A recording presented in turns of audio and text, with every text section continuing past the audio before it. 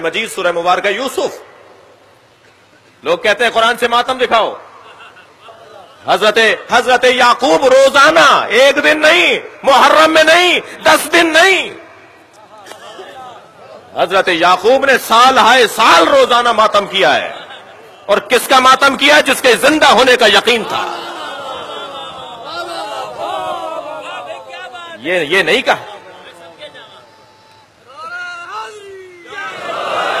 یہ یہ نہیں کہا جائے گا کہ زندہ ہو جاوید کا، ماتم نہیں کرتے ہیں۔ زندہ ہو یہ حضرت یہ حضرت یوسف زندہ ہے نا؟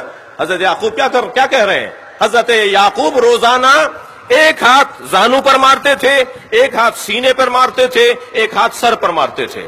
اور سر پر زانو پر اور سینے پر ہاتھ مارتے ہوئے کہتے تھے، یا صفا اللہ یوسفا۔ جسے آپ یا حسین بولتے ہیں۔ قرآن کی آیت سنا رہا ہوں نا میں آپ کو۔ یا صفا اللہ یوسفا، یا صفا اللہ یوسفا، اے ہائے میرے یوسف، ہائے میرے یوسف، یا یوسف یا یوسف، کون؟ جو ابھی زندہ ہیں، جن کے زندہ ہونے کا یقین ہے۔ اور نہ صرف زانو پر، سینے پر اور سر پہ ہاتھ مارتے تھے حضرت یوسف، حضرت یعقوب، بلکہ وہ اب یزت اینا اس کی بات والی آیت۔ وہ اب یزت اینا ہو فہوا قدیم اور اتنا روتے تھے ماتم کرتے ہوئے کہ رو رو کے حضرت یعقوب کی آنکھیں سفید ہو گئیں۔ اور قرآن کیا کہہ رہا ہے؟ فہوا قدیم۔ اور یعقوب صرف کازم نہیں تھے قزیم تھے۔ اور فرمائیں گے، بھائی تھوڑی دقت بڑھائی اپنی۔ جی ایک ہوتا ہے صابر۔ ایک ہوتا ہے صابر۔ ایک ہوتا ہے کازم صابر اور کازم میں فرق ہے۔ کازم برداشت کرنے والے کو کہتے ہیں۔ اور کازم میں بھی انتہائی برداشت جب آ جائے تو اسے قزیم کہتے ہیں۔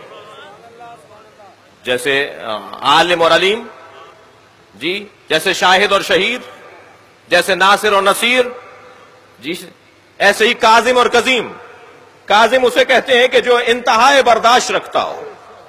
اب یہاں رو رہے ہیں، ماتم کر رہے ہیں، سینے پہ ہاتھ مار رہے ہیں، حضرت یعقوب۔ قرآن کہہ رہا ہے کہ یہ سب سے زیادہ برداشت رکھتے تھے۔ یہ یہ کیا مطلب ہے اس کا؟ ذرا آپ آپ کی توجہ چاہوں گا۔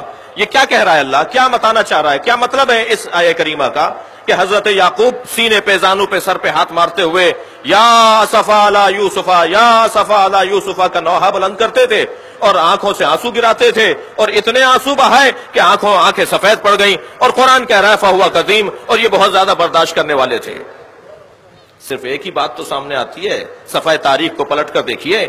جنہوں نے یعقوب کے بیٹے حضرت یوسف کو کنویں میں ڈالا تھا، وہ سامنے نظر آ رہے ہوتے تھے، تب بھی ماتم کرتے تھے اور برداشت کرتے تھے۔ بھائی غور کریں۔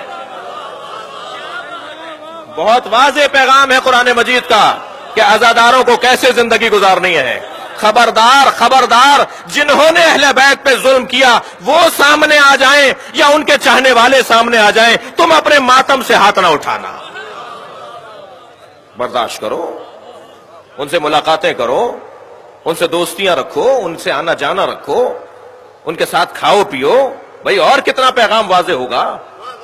قرآن ہمارے لیے رہنما ہے یا نہیں ہے؟ قرآن کہہ رہا ہے کہ یہ ماتم بھی کرتے تھے، روتے بھی تھے فہوا قدیم اور برداشت بھی کرتے تھے۔ کس بات کو برداشت کرتے تھے؟ ان بیٹوں کو روزانہ دیکھتے تھے جنہوں نے حضرت یوسف کو کنویں میں ڈالا تھا۔ مگر اپنے بیٹوں کو اپنے گھر سے نہیں نکالا۔ ہماری بزرگ خواتین نے، ہماری بواؤں نے، ہماری بزرگ عورتوں نے ہمیں گھر سے گھر سے اتحاد بین المسلمین کا پیغام دیا ہے۔ اٹھتے بیٹھ سے کہا ہے کہ یہ بڑے بھائی ہیں، بڑے بھائی ہیں۔ جی؟ اذان آتی ہے آٹھ منٹ پہلے تو بڑی بوڑھیاں کہتی تھی بچیوں سے کہ ذرا سر پہ دوپٹہ رکھ لو، بڑے بھائیوں کی اذان ہو رہی ہے۔ تو ہم تو کوئی ہمیں دیکھ تھوڑی رہا ہوتا تھا۔ ہمارے بڑوں نے ہمیں سکھایا ہے کہ بڑا بھائی ہے۔